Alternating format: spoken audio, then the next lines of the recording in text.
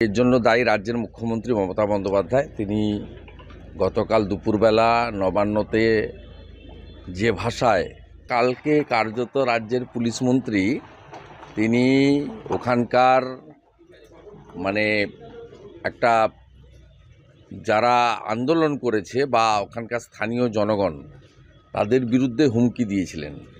বলেছেন, আমি দেখে নেব। তো তার দেখতে গিয়ে তার যে রেজিস্টার গুন্ডা যারা আছে, পুলিশের লোকরা, তারা সেই দেখে নেওয়ার কাজটা করেছে। অত্যন্ত মর্মান্তিক ঘটনা। এটা আমি সার্বিক নিরপেক্ষ তদন্ত দাবি করব। যেভাবে রামনবমীর ঘটনায় আজকে এনআইএ তদন্ত হয়েছে, এই ধরনের তদন্ত হওয়া উচিত।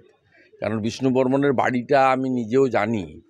ওখানে কাঁটা তারের বেড়া ডিঙ্গিয়ে তারপরে ওর বাড়িতে যেতে হয়। এক্ষেত্রে বর্ডার সিকিউরিটি ফোর্স বিএসএফের অনুমতি রাজ্য পুলিশ নিয়েছিল কি না, এটাও খতিয়ে দেখা দরকার আছে ভবিষ্যতে। দলীয় কর্মীকে পুলিশ খুন করেছে বলে সরাসরি অভিযোগ তুলেছে বিজেপি আপনারা জানেন যে মৃত্যুঞ্জয় বর্মন যার নাম, তার তার খুঁড়তুতো ভাই পঞ্চায়েত সমিতির সদস্য বিষ্ণু বর্মন, মৃত্যুঞ্জয় বর্মনের খুঁড়তুতো ভাই তাকেই খোঁজ করতে এসেছিল পুলিশ গতকাল, কিন্তু তাকে না পেয়ে তার বাবাকে যখন তুলে নিয়ে যায়, এই মৃত্যুঞ্জয় বর্মন বাধা দেন এবং তখনই পুলিশ দু রাউন্ড গুলি ছোড়ে বলে বিজেপি তরফে অভিযোগ করা হচ্ছে। আর এই গুলিতেই মৃত্যু হয় মৃত্যুঞ্জয় বর্মনের। আর এই ঘটনার প্রতিবাদে আগামীকাল বিজেপির তরফে বারো ঘণ্টা উত্তরবঙ্গেও বন্ধের ডাক দেওয়া হয়েছে। সরাসরি আরও বিস্তারিত জানব, কথা বলব আমাদের প্রতিনিধি সন্দীপ সরকারের সঙ্গে। সন্দীপ, তুমি সকাল থেকে আমাদের দেখাচ্ছ যে শোক সন্তপ্ত পরিবার, একেবারে তার মা মৃত্যুঞ্জয় বর্মনের মা, জ্যোৎস্না বর্মন রীতিমতন ক্ষোভ উগড়ে দিচ্ছেন। খবর পাওয়া যাচ্ছে কিছুক্ষণ পর মৃত্যুঞ্জয় বর্মনের দেহ নিয়ে আসা হবে। এক- একবার ছবিটা দেখাও সন্দীপ। দেখো, রায়গঞ্জ মেডিকেল কলেজ হাসপাতালে মৃত্যুঞ্জয় বর্মনের দেহের ময়নাতদন্ত হচ্ছে। ময়নাতদন্ত প্রক্রিয়া শেষ হওয়ার পরে তার যে বাড়ি রাধিকাপুর গ্রামে তাদের বাড়িতে দেহ নিয়ে আসা হবে। এই মুহূর্তে আমি দাঁড়িয়ে রয়েছি সেই রাধিকাপুরে যে যে গ্রামে তাদের বাড়ি। বাড়ির থেকে প্রায় বারো পনেরো কিলোমিটার দূরে।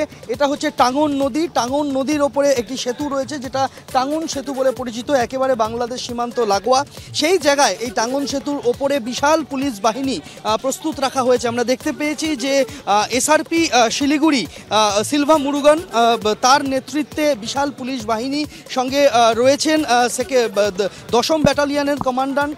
তাদের নেতৃত্বে বিশাল পুলিশ বাহিনী দুটি বাস বোঝাই করে তাদেরকে নিয়ে আসা হয়েছে এবং আইন শৃঙ্খলাজনিত কোনো সমস্যা যাতে তৈরি না হয় দেহ গ্রামে ঢোকার মুখে বা দেহ গ্রামে পৌঁছানোর পর যাতে কোনো রকম বিক্ষোভ পরিস্থিতি তৈরি না হয়, সেই বিষয়টা নিশ্চিত করার জন্য কার্যত ক্যাম্প তৈরি করে এখানে বসে রয়েছে বিশাল পুলিশ বাহিনী।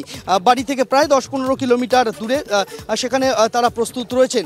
আমরা দেখতে পাচ্ছি যে গ্রামের দিকে যে সমস্ত যানবাহনগুলি আসছে বাইরের দিক থেকে, সেগুলিতে কিছুক্ষণ আগে পর্যন্ত তল্লাশি চালানো হয়েছে। কারা আসছেন, কোথায় তারা যাবেন, গাড়িতে কি রয়েছে, এই সমস্ত কিছু দেখা হচ্ছে, বাদ যাচ্ছে না, আর ছোটোখাটো মোটরসাইকেল, টোটো সেগুলিও। পুলিশ বাহিনী এখানে প্রস্তুত রয়েছে, যদিও এখনও ময়নাতদন্ত প্রক্রিয়া শেষ করে রায়গঞ্জ মেডিকেল কলেজ থেকে দেহ রওনা হয়নি গ্রামের পথে। আর কিছুক্ষণ পর হয়তো দেহ নিয়ে আহ, রওনা হবে। কিন্তু তার আগে বিভিন্ন জায়গায় একদিকে যেরকম কালিয়াগঞ্জের গোটা কালিয়াগঞ্জ জুড়ে একশো চুয়াল্লিশ ধারা জারি করা হয়েছে অপ্রীতিকর পরিস্থিতি এড়ানোর জন্য এবং ইন্টারনেট পরিষেবা বন্ধ রাখা হয়েছে কালিয়াগঞ্জে আগামী তিরিশ তারিখ পর্যন্ত যাতে গুজব ছড়াতে না পারে কোনো মৃত্যু সম্পর্কে বা অন্য কোনো কারণে। তাই সেই বিষয়টা নিশ্চিত করার কাজ করছে পুলিশ প্রশাসন। কালিয়াগঞ্জে জায়গায় জায়গায় পুলিশি টহলদারি চলছে। আর এবার গ্রামের অদূরে সেখানে কিন্তু কার্যত পুলিশ ক্যাম্প তৈরি করে ফেলা হলো এবং পুলিশ বাহিনী এখানে পাহারার দায়িত্বে রয়েছে। হয়তো আহ, ঘণ্টা খানেক বা কয়েক ঘণ্টা পর দেহ এসে পৌঁছবে গ্রামে। তখন যাতে পরিস্থিতি হাতের বাইরে না যায় তার জন্য আগাম কিন্তু পুলিশি প্রহরা বসানো হলো। যদিও আমরা আজকে সকাল থেকে কোনো শীর্ষ পুলিশ আধিকারিককে বা কালিয়াগঞ্জ থানার কোনো পুলিশ অফিসারকে আমরা দেখতে পাইনি যে ওই পরিবারের সদস্যদের সাথে কথা বলেছেন বা শোক সন্তপ্ত পরিবারে গিয়েছেন বা কোনো বা কি হয়েছে সেই ঘটনা তদন্ত করতে গেছেন। পুলিশ কিন্তু এখনও পর্যন্ত ওই গ্রামে ঢোকেনি। গতকালকে রাতের ওই ঘটনার পর। এই মুহূর্তে গ্রামের থেকে প্রায় বারো পনেরো কিলোমিটার দূরে পুলিশ বাহিনী এখানে প্রস্তুত রয়েছে। ল অ্যান্ড অর্ডার সিচুয়েশন যাতে হাতের বাইরে না যায়, সেটা দেখার জন্য।